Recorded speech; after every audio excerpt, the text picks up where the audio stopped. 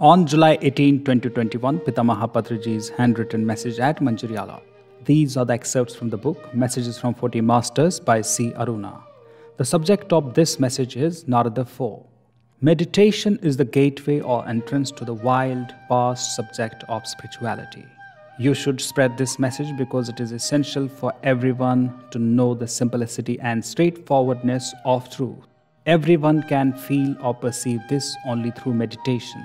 Unless you have meditated at least a little, you cannot understand the truth because the rays of cosmic energy vitalize your physical body and make your body ready for receiving information on many simple everyday activities of your life. Your group has added another dimension to understanding spirituality well. Reading books, I agree with anyone who says he has attained enlightenment through books. What use is spirituality without enlightenment in our everyday living? Because once you attain enlightenment in your daily life, everything in life becomes wonderful and worth living. So, spreading the message is as important as doing meditation.